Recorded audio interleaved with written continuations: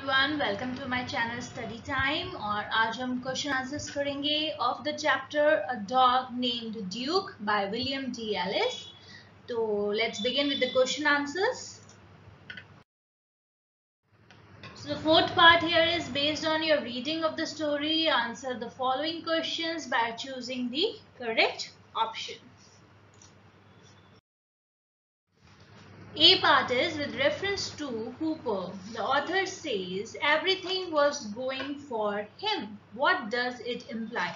अब everything was going for him यानी कि सब कुछ उसके फेवर में था तो उसमें क्या है यहाँ पे ऑप्शंस है he had everything that a man aspires for people admired him he did what he wanted and he was capable of playing games so answer one is the correct option he had everything that a man aspires for B part here is Duke never jumped on Chuck again because क्यों वो उसके ऊपर दोबारा कभी नहीं jump किया because he realized that Chuck was not well and could not balance himself. So the third option is correct. तो उसको समझ आ गई थी कि चक जो है बिल्कुल भी ठीक नहीं है और उसे बैलेंस करने में प्रॉब्लम हुई part the author says that Duke knew his job and the job was उसकी क्या जॉब थी to get Chuck on his feet और उसने बहुत ही अच्छे से मेहनत करके उसे दोबारा चलने लायक भी बनाया तो उसकी जो थी जॉब जो थी इस वक्त ये थी to get Chuck on his feet part is even Duke's presence didn't reach Chuck. Why? See, the fourth option is correct here. Hooper was lost in his own grief and pain तो बहुत ही ज़्यादा depressed हो चुका था क्योंकि उसे लगता था कि वो शायद कभी दोबारा चल ही नहीं पाएगा so Hooper was lost in his own grief and pain Fifth part here is answer the following questions briefly. So let's begin with it.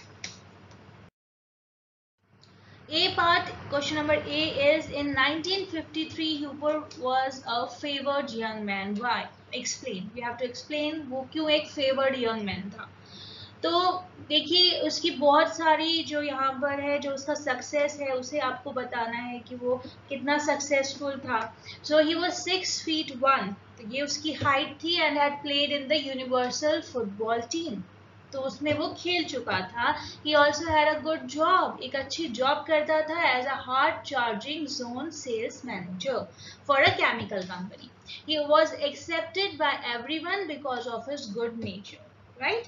And thus we can say that Hooper was a favored young man. He had everything uh, that a man aspires for. जो भी एक इंसान को चाहिए होता है एक अच्छी लिविंग के लिए वो सब ऊपर के पास था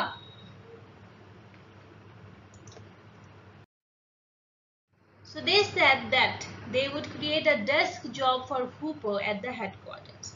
So who are they and what did they decide? Why did they decide to do this? तो ये they कौन है? Who are they? They refers to the men from the company who visited Hooper in the hospital. तो उसकी company के कुछ लोग जो उससे मिलने के लिए आए थे ये वो लोग थे so they decided to create a desk job for Hooper because he was paralyzed and could no longer do the sales job तो अब वो कोई sales job तो करने लायक नहीं था लेकिन उसे वो डेस्क जॉब देने की बात यहाँ पर कर रहे हैं so they decided to create a desk job for Hooper because he was paralysed and could no longer do the sales job. Question number C here is Duke was an extraordinary dog. What special qualities did he exhibit to justify this? Discuss. देखिए जो Duke था वो एक extraordinary dog था उसके अंदर special qualities थी क्योंकि फ़र्स्ट ऑफ़ ऑल ही हमें समझ आ गया वंस बाय जंपिंग ही यूट ऊपर about the bed causing him to fight to keep his balance, and he never jumped on Chuck Hooper again. तो उसके बाद वो कभी उसके ऊपर जंप नहीं किया, वो समझ गया था कि उसे बैलेंस करने में प्रॉब्लम हुई. He quickly sensed his master's ailment. तो उसने उस चीज़ को बहुत ही जल्दी सेंस किया and help him stand back on his feet कैसे with Hooper standing the dog walked to the end of the leash and tugged steadily leaning against the pull He unfailingly accompanied his master for a walk and made sure that each day the distance walked was more than the distance walked the previous day. तो इस तरह से उसने Hooper की बहुत help की to walk step by step Hooper learn to keep his balance तो इस तरह से हुपर जो है, खुद को बैलेंस करना सीख गया। So in this way Duke help to walk by himself और वो एक दिन खुद चलना सीख गया। The part here is what problems did Chuck represent when he returned to the company headquarters. अब वो company headquarters तो पहुँच जाता है लेकिन वहाँ पर क्या problems उसने face की when Chuck returned to his company a peculiar problem was created for the company. It was difficult for the company to create a job for Chuck that allowed him to work for only one hour a day. तो ऐसी कोई job create करना बहुत ही ज़्यादा tough था क्योंकि वो one hour से ज़्यादा जॉब नहीं कर सकता था E part is why do you think Charles Hooper's appointment as Assistant National Sales Manager can be considered to be a tribute to Duke? See, Charles Hooper's appointment as Assistant National Sales Manager was a tribute to Duke because Duke had the greatest role in making his master climb up the ladders of success step by step. तो सारा जो है contribution main Duke का था उसी ने उसको उसकी मदद की थी चलने में चलना सीखने में uh, it was just a step by step that Hooper learned to maintain his balance and go for short walks. Duke taught him to cope with the challenges and lead him back to his office desk. तो Duke ने यहाँ पर एक बहुत ही बड़ा और major role play किया था उसको उसको चलने में उसकी पूरी मदद की थी और इस तरह से ही वो अपने ऑफ़िस तक वापस पहुँच पाया था और वो सारा सक्सेस उसे दोबारा वापस मिला जो कि उसने एक बार एक पॉइंट पे आकर सब कुछ खो दिया What thoughts do you think might have crossed Chuck's mind? And Marcy quietly went to work and Chuck was alone with his thoughts. तो उस वक्त चक के दिमाग में क्या क्या बातें आती होंगी वो आपके अकॉर्डिंग क्या है तो ये आपको बतानी है। So when Marcy quietly went to work and Chuck was alone with his thoughts he might have felt alone and disappointed उसे बहुत अकेला फील होता होगा, वो डिसअपॉइंटेड तो था ही।